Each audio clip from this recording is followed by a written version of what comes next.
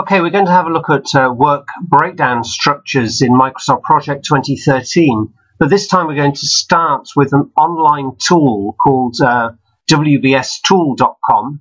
It's a system that enables you to do work breakdown structure charts in the same format that you see as uh, yellow sticky notes or in a hierarchy. I used to tell my students to use Microsoft organization charts for their work breakdown structures. Uh, so wbstool.com is the website and uh, I've logged in and I'm going to enter this tool and I'm going to pull up a work breakdown structure I created some time ago and then show you what we can do with it. I'm going to open a file that I created And now we can see a pictorial representation. In this example, the project creating a, uh, a new hangar and uh, it's broken down into the work packages, the hangar building, the hangar facilities, the staff that we need, and scrolling this way, the paths, the driveways, the barriers, and the equipment. I've got a numbering system applied to this uh, we can see I've got uh, the second level is the hangar facilities. I've got third levels. I've got fourth levels. And um, we can do various things, copying, pasting, saving, printing. A particular interest, we can save this as an image or we can export it to Microsoft Project. That's what I'm interested in doing now. We can export it into Microsoft Word. Um, so let's uh, click export to MS Project. This is going to save the file as an XML file. Download to download it. So let's do that. I'm going to save it on my desktop.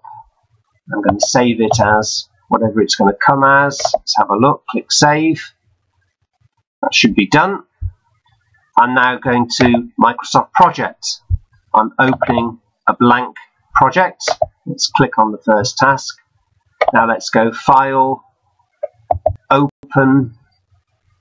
It's on my computer. On my desktop. I'm going to have to tell it to an XML format file. That looks like the one I'm looking for. Let's open that. Let's open it as a new project. and there the structure is in Microsoft Project. I can see that I've got the different levels, Got the different indentations to indicate it.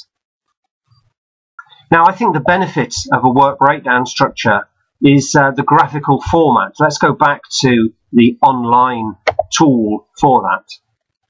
If you only want to discuss what you are doing in the project, then use the work breakdown structure.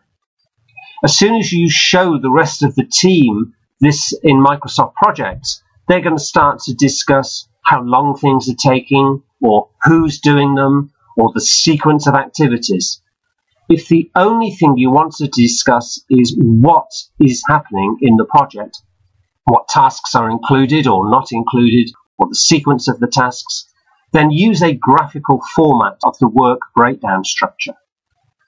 Later, you can import that into Microsoft Project to add the things that Microsoft Project does best, the dependencies and the durations. So there's an overview of work breakdown structures, but created from the wbstool.com website.